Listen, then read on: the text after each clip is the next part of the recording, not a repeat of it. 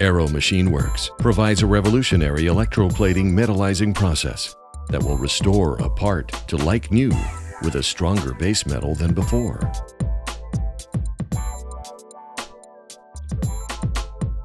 And we'll just be nickel plating that back up again to restore the dimension and uh, put it back in for longer use. Alright, so this is the outer race of a thrust bearing. You can see it's tapered in the inside here. So the issue we had with this is that uh, in our the machine that this goes into, the outer race wore too much into the hold, the part that it was being held in, and uh, started just spinning instead of actually rolling the way it's supposed to. So we ordered a new one and are nickel plating the outside of the outer race to increase the wear resistance and to uh, fill it in up to the uh, diameter that this old one wore into. So we can just replace the bearing, you know, the whole machine isn't scrap or that whole part of it isn't scrap. We can just uh, replace the bearing and change the size of it with uh, this bearing right here that I finished nickel plating. And you can see, you can, well, maybe kind of see the uh, slight color difference in the two, the, the recently nickel plated one and the previous one. So the reason that we're nickel plating a new bearing instead of just repairing the old one is because the actual inside of the bearing was the part that really got wore out and is uh, unusable now.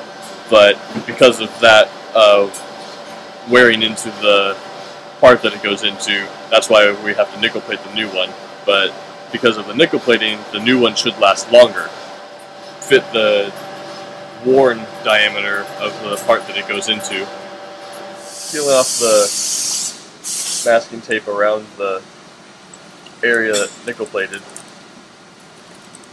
Because at the very edge, the plating process forms a bit of a burr that you can kind of see right there. And we don't want that to be on the part, so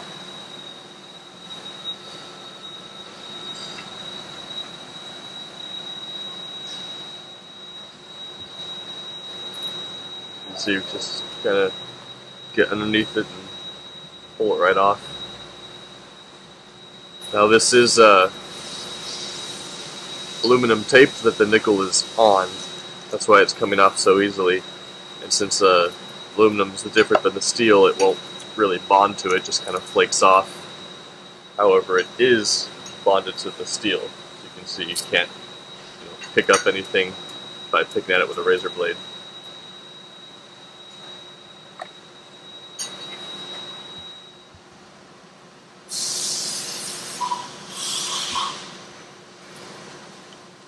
This is just some regular nylon tape or plastic tape to protect the part.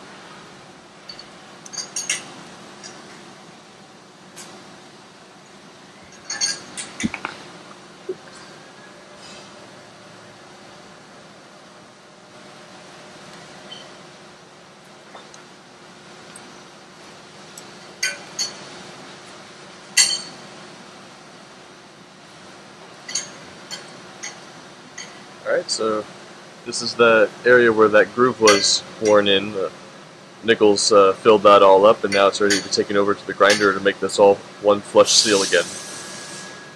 Alright, so here we have the area where the nickel plating filled in that groove that we machined out to fill up that uh, groove that the seal wore into the part. So you can see that the area sides right here are just flush with the with the original part. It just it was just ground down until we just kissed the space, and actually it's not face. It was ground down until we just kissed this diameter here to keep everything concentric. And there's a very slight bump because the nickel and the part won't be perfectly concentric, but they're very close, plenty close for this uh, seal fit right here.